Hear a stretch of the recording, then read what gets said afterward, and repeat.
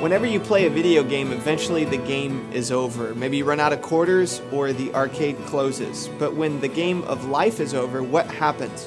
What happens when we cross over from this life to the next? Where will the people you love and where will you spend all of eternity?